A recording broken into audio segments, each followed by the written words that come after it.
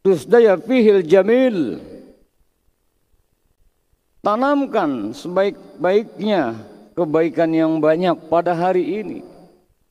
Jangan menunggu besok saja. Jangan menunggu nanti saja. Tanamkan apa potensi yang kita bisa sumbangsihkan. Hablum minallah kita hablum minhanas kita tanamkan lakukan sekarang yang terbaik tentu semua mengharap ridha Allah Subhanahu wa taala.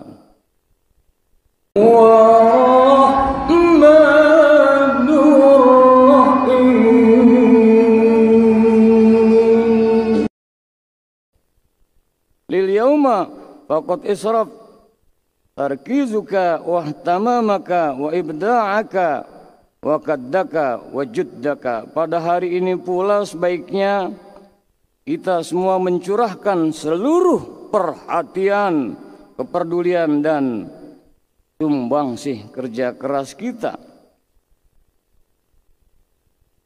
Dan pada hari ini pula Anda kita semua harus bertekad mempersembahkan kualitas solat yang paling khusyuk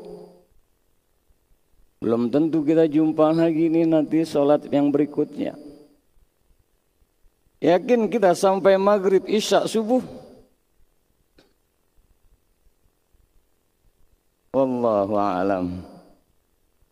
Oleh karenanya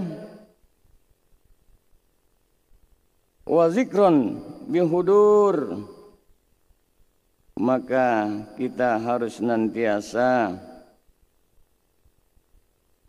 untuk selalu mengingat Allah menghadirkan ingatan kita dengan penuh khusyuk pada Allah Subhanahu wa taala. Wa tilawatan bitadbir. Dan kita harus berupaya membaca Al-Qur'an yang syarat dengan tadabbur wa itla'an bitamil wa zikran bihudur zikir dengan sepenuh hati. Wajzanan fil umur keseimbangan dalam segala hal. Wa husnan fil khalq. Dan kita pun harus nantiasa indah dalam akhlak. Waridun bil maksum. Ridho kerelaan dalam semua yang telah ditentukan oleh Allah wahtimaman bil mazhar.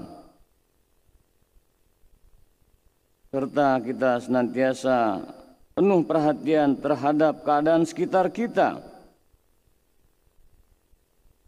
Wa tinaan bil jism. Wa naf'an lil akharin kita juga harus perhatikan tentang kesehatan jiwa raga kita serta perbuatan baik kita terhadap sesama. Yaumaka, yaumaka.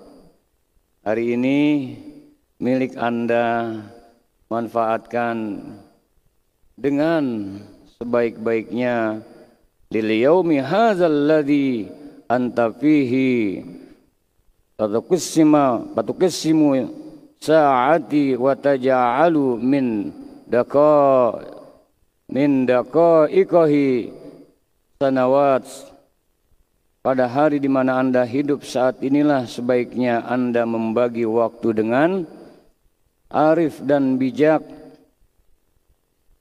Wa min sawanihi syuhura dan jadikanlah senantiasa agar selain membaginya waktu dengan arif dan bijak setiap menitnya laksana ribuan tahun dan setiap detiknya laksana ratusan bulan yang penuh makna.